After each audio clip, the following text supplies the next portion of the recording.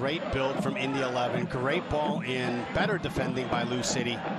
Advantage being played. Gonzalez's ball. We match. Couldn't knock it away. Home, and that's a goal for Lou City. On the counter, Lou City finds the back of the net first at minute number 41. And he chases it down and just gets a just gets a toe to it. Gonzalez springs him on this one. The bounce goes against the Indy 11 on the sliding effort on the tackle. We met knocks it right back into the path of Hoppenot, who toe pokes it past Jordan Farr. First goal belongs to Lou City, and Farr